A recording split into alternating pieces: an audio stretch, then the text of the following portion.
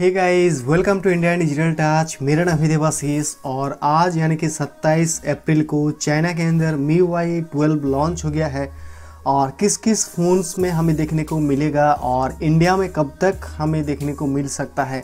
इसके रिगार्डिंग मैं एक वीडियो बना चुका हूँ तो अगर आप जानना चाहते हैं तो उस वीडियो को जाके आप एक बार देख लीजिएगा। आई बटन में और इस वीडियो के डिस्क्रिप्शन में उसका लिंक आप लोगों को मिल जाएगा। तो इस वीडियो में हम लोग बात करेंगे इस मी यू वाई ट्वेल्व के फीचर्स के बारे में। तो अगर आप कोई भी शॉमी रेडमी या फिर पोको का फ़ोन यूज़ करते हैं तो आप सबको पता होगा कि जो भी नया मी वाई का वर्जन आता है, हमेशा किसी एक चीज़ के ऊपर वो लोग पर्टिकुलरली काफ़ी ज़्यादा फोकस करते हैं। मी वाई टेन में उन लोगों ने किया था। यहाँ पे सिंगल कैमरा पोर्ट्रेट मोड यानी कि अगर आपके पास कोई पुराना फ़ोन है तो एक ही कैमरा से आप पोर्ट्रेट मोड और काफ़ी अच्छा पोर्ट्रेट शॉट्स क्लिक कर सकते हैं। जो कि एक तरफ़ से काफ़ी अच्छा हुआ था उन लोगों के लिए जो पुराना फ़ोन वगैरह इस्तेमाल करते थे। इसके बाद मी वाई एलेवन ने इलेवन जब आया, उन लोगों ने फोकस किया बैटरी को ले बैटरी से रिलेटेड कि हम लोग अल्ट्रा पावर सेविंग मोड वगैरह देंगे। इंडिया में नहीं आया वो अपडेट ये अलग बात है, लेकिन उन लोगों ने ये चीज़ फोकस किया था और यही सबसे मेन हाईलाइट था मी वाई इलेवन के अंदर। अब मी वाई ट्वेल्व की बारी है और इस बार भी उन लोगों ने यहाँ पे दो चीज़ों के ऊपर काफ़ी ज़्यादा फोकस किया है। सबसे पहला है प्राइवेसी और दूसरा है एनिमेशन तो इन दो चीज़ों के ऊपर अगर आप लोग देखेंगे तो दो चीज़ों के ऊपर उन लोगों ने यहाँ पे काफ़ी ज़्यादा फोकस किया है प्राइवेसी और एनिमेशंस को लेकर।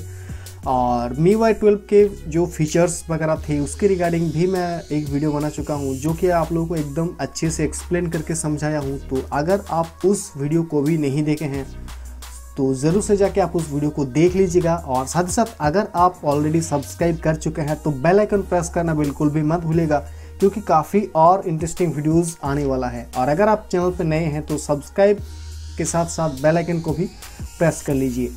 तो नया क्या आया है? सबसे पहला चीज़ तो एनिमेशंस के ऊपर उन लोगों ने काफ़ी ज़्यादा फोकस किया। तो चाहे आप, अगर मैं बात करूँ यहाँ पे कुछ कुछ ऐप्स का आइकन को उन लोगों ने यहाँ पे चेंज हमें देखने को मिलेगा।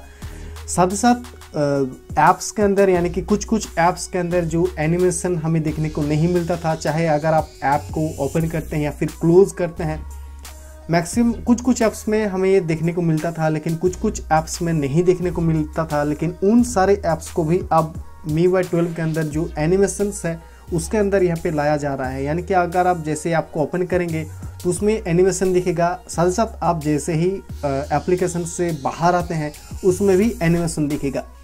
तो इस चीज़ के ऊपर यहाँ पे फोकस किया गया है।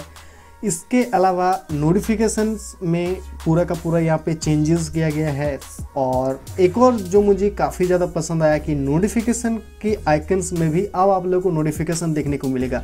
जैसे कि अगर आप लोग फ़्लाइट मोड को ऑन करते हैं तो एक प्लेन का लोगो आएगा ऊपर से नीचे की तरफ़। तो इस तरीके का यहाँ पे एनिमेशंस वगैरह ऐड किया गया है इस मी वाई ट्वेल्व के अंदर।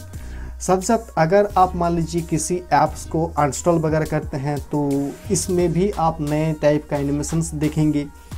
और नेक्स्ट जो चेंजेस वगैरह किया है, वो जो ऐप्स के अंदर है, यानी कि सिक्योरिटी ऐप्स के अंदर या फिर गैलरी वगैरह के अंदर तो इसमें भी आप लोगों को काफ़ी सारे नए नए ट्रांजिशन इफ़ेक्ट्स एनिमेशंस देखने को मिलेगा।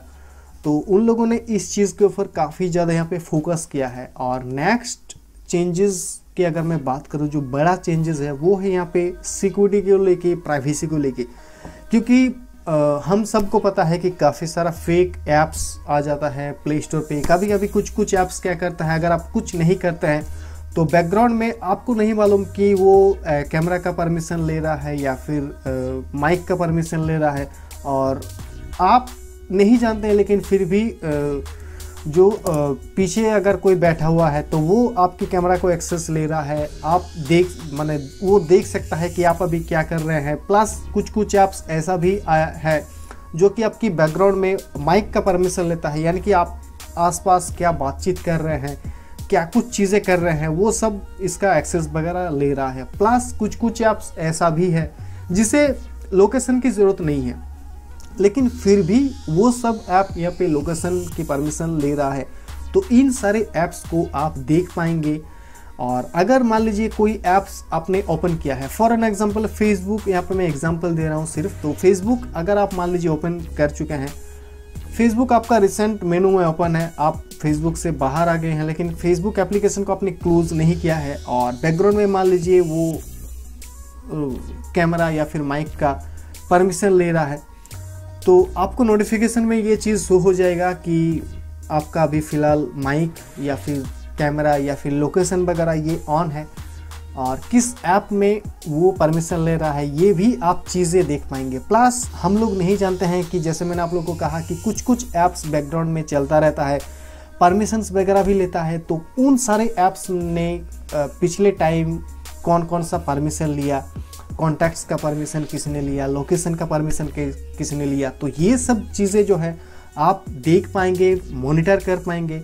और अगर इसमें एआई भी ऐड किया गया है, अगर मान लीजिए कोई ऐसा ऐप है फॉर एन एग्ज़ाम्पल कोई फ़ोटो एडिटर ऐप है, वो आपकी सब कुछ परमिशन ले रहा है। आपकी फ़ोटो एडिटर है, लेकिन फिर भी उसमें कोई कैमरा का लाइव फ़ोटोज़ वगैरह आप नहीं क्लिक कर सकते हैं, लेकिन फिर भी आप नहीं जानते हैं, लेकिन फिर भी मान लीजिए अगर वो कैमरा की परमिशन ले रहा है लोकेशन की परमिशन ले रहा है, आपके फ़ोन में जो भी कॉन्टैक्ट्स है, उन सब का परमिशन ले रहा है तो ये मॉनिटर करेगा और आपको ये इन्फॉर्म करेगा इन्फॉर्म करेगा कि ये जो पर्टिकुलर ऐप है, ये आपका ये ये चीज़ें कर रहा है तो वो ऑटोमेटिकली उस ऐप को हाई रिस्क जोन पे डाल देगा और आपको फोर्स करेगा उस ऐप को अनस्टॉल करने के लिए। तो ये एक काफ़ी अच्छा फीचर है।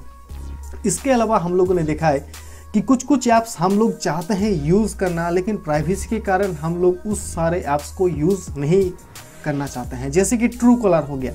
ट्रू कॉलर एक काफ़ी अच्छा एप्लीकेशन है। अगर किसी का स्पाम कॉल आता है या फिर किसी का अगर ऐसे कॉल करता है पैसे लूटने के लिए तो हमें मालूम पड़ जाता है क्योंकि बहुत सारे लोग ऑलरेडी रिपोर्ट कर कर चुके हैं ऑलरेडी उस नंबर पे। अब मान लीजिए ट्रू कॉलर क्या करता है? कि आपके फ़ोन का जो कॉन्टैक्ट्स का परमिशन लेता है तो इस वजह से भी बहुत सारे लोग ट्रू कॉलर को नहीं यूज़ करते हैं। लेकिन अब मी वाई ट्वेल्व में एक अच्छा फीचर है कि आप एक वर्चुअल आईडी उसे दे सकते हैं, जिसकी वजह से आपके फ़ोन का कॉन्टैक्ट्स के परमिशन लेगा, लेकिन उसे ब्लैंक दिखाएगा। मतलब वो परमिशन तो लेगा, लेकिन कोई भी कॉन्टैक्ट्स को वो रीड नहीं कर पाएगा। एक वर्चुअल आईडी के द्वारा, जिस तरह से हम लोग टैंप मेल वगैरह का इस्तेमाल करते हैं, बिल्कुल इसी तरह से ये काम करता है।